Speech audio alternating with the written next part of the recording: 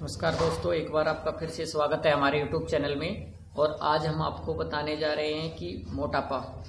मोटापा आपको कैसे आता है और आप क्या यूज़ करें कि आपको मोटापा ना आए?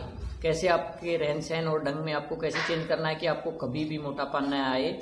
उसके लिए हम आपको वीडियो में बताने जा रहे हैं। सबसे पहले जो हमारे नए दर्शक हैं, वो हमारे चैनल को सब्सक्राइब कर लीजिए, ताकि आपको हमारे नए वीडियो हैं, वो मिलते रहें। तो दोस्तों, मोटापा अगर आप तीन चीज़ें अपने नियम में फॉलो करते हैं तो आपकी ज़िंदगी में कभी भी आपको मोटापा नहीं आएगा। आप चाहे कितना ही खाना खाएँ, और मोटापे के लिए मैं आपको बता दूँ दोस्तों डाइटिंग की ज़रूरत नहीं होती है।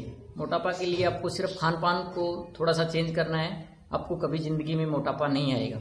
उसके लिए दोस्तों, सबसे पहले जब भी आप पानी पिए तो आप पानी खाने के एक से डेढ़ घंटे के बाद ही पिए, और पानी को घूट घूट करके पिए सिप सिप करके पिए डायरेक्ट पानी ना पिए कि एक बार एक गिलास उठाया और तुरंत गट गट पूरा पी लिया, ऐसा नहीं पिए।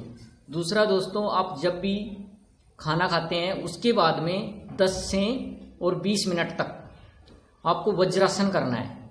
वज्रासन एक ऐसा आसन है जो आप खाने के बाद भी कर सकते हैं। इसकी पोजीशन मैं आपको दिखाता हूँ कि आपको किस पोजीशन में आपको बैठना है और ये आसन करोगे आप और आप पानी पियोगे तो आयुर्वेद इस बात की हंड्रेड परसेंट गारंटी देता है कि आपको कभी भी ज़िंदगी में मोटापे जैसी समस्या नहीं आएगी।